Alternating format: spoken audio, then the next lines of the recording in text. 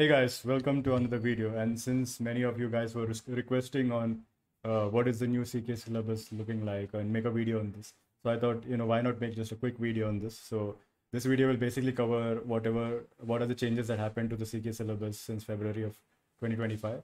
So without wasting much time, let's just see what what are the, uh, what are these uh, things, and make sure you watch till the end because the last slide will kind of give you like a key takeaway of what all you need to know about the new syllabus change. So first of all, uh, one thing is that the cluster uh, architecture and installation and configuration has got an increased weightage of 25 percentage. Uh, and the key things to note is that uh, you need to now prepare for Helm and Kustomize.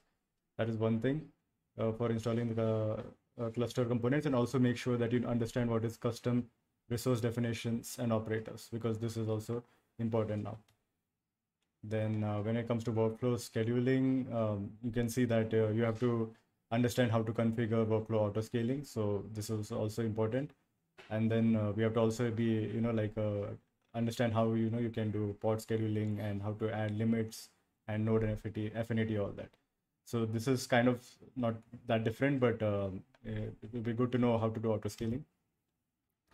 So when it comes to networking, one of the things is that gateway API has been added. So we have to, uh, you know, understand how gateway API works for networking. So make sure that you go and watch a video on that related to that for sure. And then another is uh, CoreDNS configurations also are uh, important now and how to troubleshoot them as well. So make sure that you know that as well. Not not wasting much time. When it came to storage, the only thing which I realized noticed is kind of that uh, dynamic volume provisioning has uh, is also there now.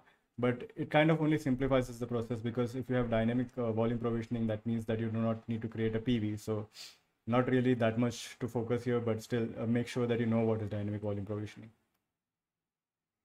And yeah, so one important thing to note is that troubleshooting is having a weightage of 30%. So yeah, so that is uh, very interesting to note, right? That troubleshooting has got an uh, increased weightage of 30%.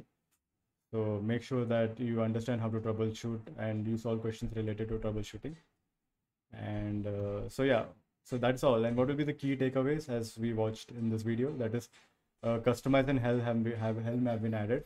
Workflow uh, auto scale auto scaling has some emphasis now. Then also we have to know what is CoreDNS gateway API. That will be also important to know. Troubleshooting has increased weightage.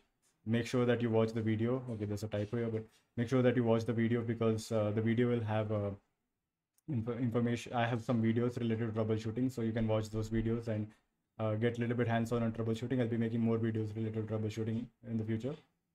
And then also that one more thing is that etcd backup and version upgrades and all are no more having priority. That's what I got to know.